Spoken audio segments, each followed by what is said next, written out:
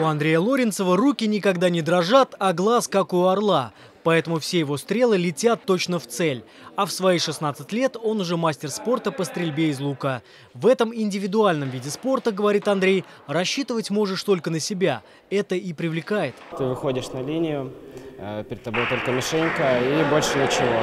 Ты работаешь исключительно на себя и стреляешь, больше тебе ничего не надо. Очень стимулирует, когда получается. Когда не получается, иногда расстраиваешься, но все равно берешь силы в руки и занимаешься дальше. Вместе с Андреем Лоренцевым на линии 30 участников открытых соревнований по стрельбе из лука. Всего у ребят 60 выстрелов и 18 метров до цели. Многие из них уже опытные спортсмены, но немало и начинающих, которые только пробуют свои силы в стрельбе. Соблюдение техники безопасности, сбор компонента лука и правильный охват тетивы на все это начинающему спортсмену может понадобиться всего 5 занятий, а вот мастерство нужно оттачивать годами.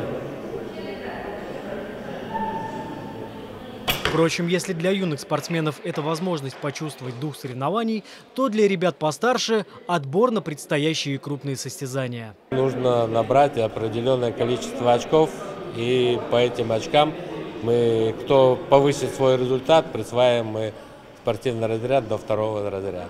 Лучшие пять человек, ребята, у нас выделены средства спортивной школы, поедут на всероссийские соревнования «Надежда России», город Великий Луки. По итогам соревнований мастер спорта Андрей Лоренцев ожидаемо одержал верх над соперниками. Он и четверо его друзей теперь будут отстаивать спортивную часть «Химок» на всероссийских соревнованиях 20 ноября в городе Великие Луки.